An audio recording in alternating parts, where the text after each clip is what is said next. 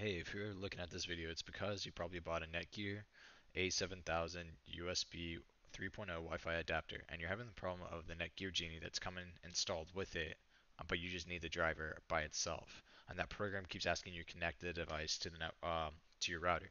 So let's go ahead and dig right in. If you look at my device manager, you'll notice that my device is currently uninstalled, there's no driver associated with it, and I do not have the Netgear program.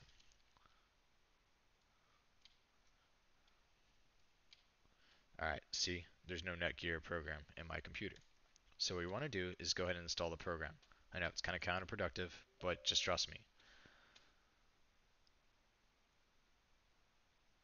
So wherever you have the programs downloaded, and wherever that folder is, go ahead and just, you know, install it from there. I have mine on my desktop for simplicity reasons for the video. And this is the thing that we all hate right here is that program, the software. Feel free to skip forward in this video, of course. This is just the installation.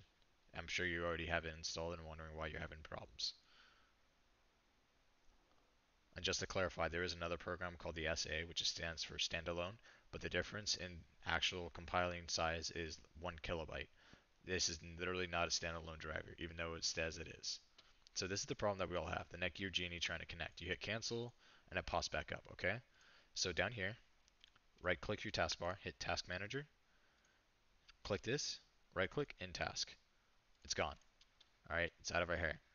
But it's installed. So what we want to do Window keys E opens up Windows Explorer. Go to this PC, local disk C, and go to Program Files 86 for 32-bit programs. You're going to see a folder called Netgear. This is in here. Double click A7000. You have a driver folder. Now take this driver folder and you're going to copy it here. Okay. The way I did that is I right clicked and drug it. You can control C for copy. You can right click and hit copy. And then you just right click and hit paste on your uh, desktop. Any number of the shortcuts. Go ahead and close that out. And now I have the driver folder. You can go ahead and get rid of the program folder. You don't need it anymore. And then go ahead and add or remove programs. Because all we wanted was we just wanted the folder out of the program. And now that we have the folder, you can go ahead and uninstall this program. You don't need Netgear Genie. It's absolute crap. We all hate it. We don't understand why Netgear doesn't fix it or even approach or under even uh, take responsibility for creating such a terrible program.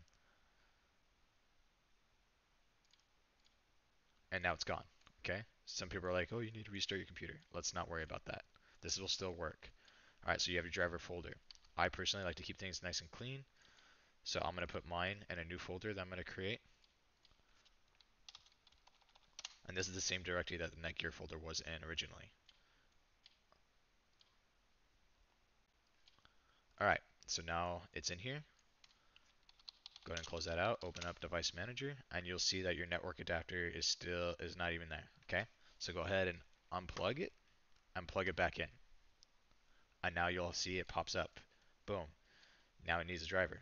Update driver, browse my computer, browse to where you have it. If you have it on your desktop, then it's right here. You expand it and it should be a folder that says driver. You would click that folder and hit OK. For me, it's in right here, A7000 driver. Hit OK. Boom. Next. And it's installing the drivers. And the drivers have successfully been installed because it has all the files you need. And there is your Wi-Fi adapter driver installed. But what don't you have? You don't have the Netgear Genie program anymore. And there you go. See? What networks pop up? And I could connect to my Wi-Fi. I know I do not have a hardline connection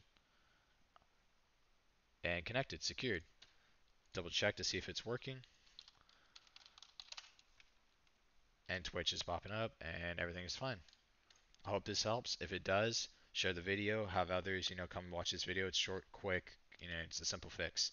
If you have any questions or problems, I honestly will not be addressing them in, in below in the comments. I don't have that kind of time. Good luck, and I hope this helps.